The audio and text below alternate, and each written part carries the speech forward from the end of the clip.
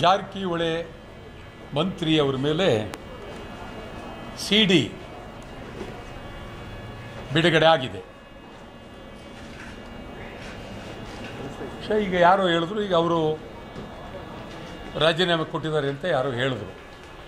ಅದು ಎಷ್ಟರ ಮಟ್ಟಿಗೆ ಇದಾಗಿದೆ ಗೊತ್ತಿಲ್ಲ. ಈ ಸಿ ಡಿ ಪ್ರಕರಣಗಳು ಈಗ ಕರ್ನಾಟಕದಲ್ಲಿ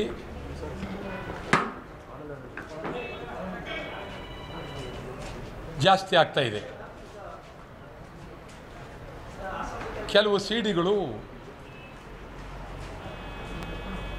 ಯಾರ್ಯಾರದೋ ಪ್ರಭಾವದಿಂದ ಅದು ಬಯಲಿಗೆ ಬರದೆ ಮುಚ್ಚಿ ಹೋಗಿದೆ. ಮೊದಲನೇದು, ಈ ಸಿಡಿಯಿಂದ ಇರ್ತಕ್ಕಂಥ ಪಿತೂರಿ ಯಾವುದು? ಭಾಳ ಪ್ರಾಮುಖ್ಯವಾಗಿ ಈ ರೀತಿ ಸಿಡಿಗಳು ಬಂದರೆ ಮುಂದೇನು ಅನ್ನುವ ಪ್ರಶ್ನೆ ಉದ್ಭವ ಆಗುತ್ತೆ. ಸಿ ಡಿಗಳ ಮೂಲಕ ಯಾರನ್ನು ಬೇಕಾದರೂ ನಾವು ಮಣಿಸ್ಬೋದು ಅಂತಕ್ಕಂಥ ನಿರ್ಧಾರ ಬಂದಿದೆ. ಇದರ ಬಗ್ಗೆ ಶಾಸನಸಭೆಗಳಲ್ಲಿ ಲೋಕಸಭೆಗಳಲ್ಲಿ ಸಮಗ್ರ ಚರ್ಚೆ ಆಗಬೇಕು. ಈ ರೀತಿ ಸಿಡಿ ಸಿಡಿ ಮಾಡೋಕ್ಕೆ ಮುಂಚೆ ಕಾರಣ ಏನು? ಈ ಸಿಡಿ ಮಾಡುವ ಉದ್ದೇಶ ಏನು? ಇದರಿಂದ ಇರ್ತಕ್ಕಂಥ ಪಿತೂರಿ ಏನು? ಇದು ಬಹಳ ಮುಖ್ಯ. ಈ ಪಿತೂರಿ ಬಯಲಾಗಬೇಕು ಇದರಿಂದ ಯಾರಿದ್ದಾರೆ? ಕಾರಣ ಏನು? ಈ ಸಿ ಡಿ ಮಾಡಬೇಕಾದ್ರೆ ಏನು ಪಿತೂರಿ? ಇದು ಗೊತ್ತಾಗಬೇಕು, ಬೈಲಾಗಬೇಕು. ಸುಮ್ಮ ಸುಮ್ಮನೆ ಸಿ ಡಿ ಆಯಿತು. ಇದರಿಂದ ಒಬ್ಬ ವ್ಯಕ್ತಿ ಪರಿಸ್ಥಿತಿ ಗೊತ್ತಾಯಿತು. ಸಿ ಡಿ ಬೈಲಾಯಿತು. ಈಗ ಯಡಿಯೂರಪ್ಪನವ್ರ ಮೇಲೂ ಸಿ ಡಿ ಇತ್ತು. ಏನಾಯಿತು ಸಿ ಡಿ ಎರಡು ದಿನ ಯಡಿಯೂರಪ್ಪನವರಿಂದ ಭಾರಿ ಸಿಡಿ.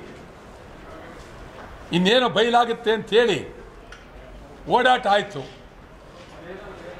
ಸಿಡಿ ಬರಲೇ ಇಲ್ಲ ಹೊರಗಡೆ. ಅದೆಲ್ಲೋಯ್ತು ಸೀಡಿ. ಈ ಸಿಡಿ ಯಾಕೆ ಬಂತು? ಇದರಿಂದ ಏನು ಪಿತೂರಿ ಇದೆ? ಇದು ಬಹಳ ಮುಖ್ಯ. ಸಿ ಡಿ ಹಿಂದೆ ಇರ್ತಕ್ಕಂಥ ಪಿತೂರಿ ಬಯಲಾಗಲೇಬೇಕು ಯಡಿಯೂರಪ್ಪನವ್ರ ಸರ್ಕಾರ, ಹೀನಾಯ ಸರ್ಕಾರ, ಇದೊಂದು ಸಣ್ಣ ಸರ್ಕಾರ ಗೌರವ ಇಲ್ಲದ ಸರ್ಕಾರ. ಇದು ಗೌರವ ಅಲ್ಲ. ಯಾರ ಬಗ್ಗೆ ಬೇಕಾದರೂ ಸಿ ಡಿ ಮಾಡ್ಬೋದು. ಯಾರ ಬಗ್ಗೆ ಬೇಕಾದ್ರೂ ಸಿ ಡಿ ಮಾಡ್ಬೋದು. ಆದರೆ ಸಿ ಡಿ ಹಿಂದೆ ಏನೇನು ನಡೆದಿದೆ? ಕಾರಣ ಏನು? ಇದು ಬಯಲಾಗಬೇಕು.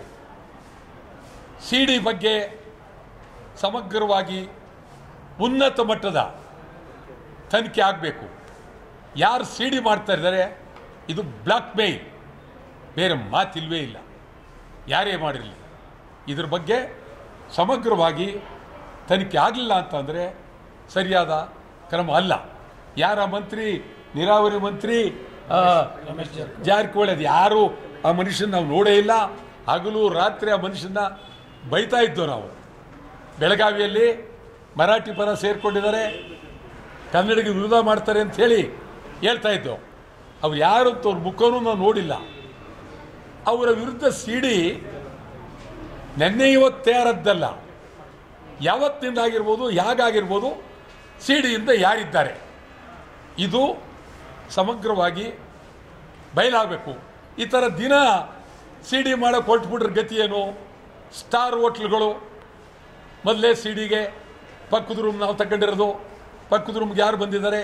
ಸಿ ಡಿ ಇನ್ನೊಂದು ಕಡೆ ಸಿ ಡಿ ಡೆಲ್ಲಿಲಿ ಸಿ ಡಿ ಎಲ್ಲ ಕಡೆ ಸಿ ಡಿ ಮಾಡ್ತಾ ಹೊರಟ್ಬಿಟ್ರೆ ಯಾರು ಉಳಿಯೋಕ್ಕಾಗಲ್ಲ. ಮತ್ತು ಗೋಪ್ಯತೆ ಅನ್ನೋ ಪ್ರಶ್ನೆ ಬಹಳ ಗಂಭೀರವಾಗಿ ನಾಶ ಆಗುತ್ತೆ. ಇದು ನಾವೆಲ್ಲರೂ ಸಮಗ್ರವಾಗಿ ವಿರೋಧ ಪಕ್ಷಗಳು, ನನಗನ್ನಿಸ್ತಾ ಅಂಥ ಮುಖಂಡರುಗಳು ಯಾರೂ ಇಲ್ಲ.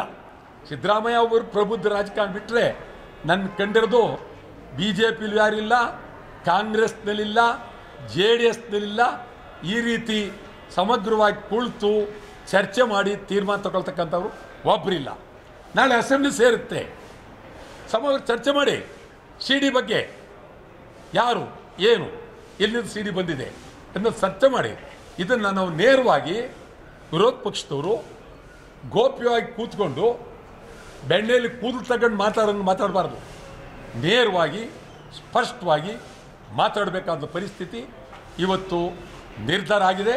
ಆ ದೃಷ್ಟಿಯಿಂದ ಸಿ ಡಿ ಬಗ್ಗೆ ಉನ್ನತ ಮಟ್ಟದ ತನಿಖೆ ಆಗಲಿ ಬೇಕು.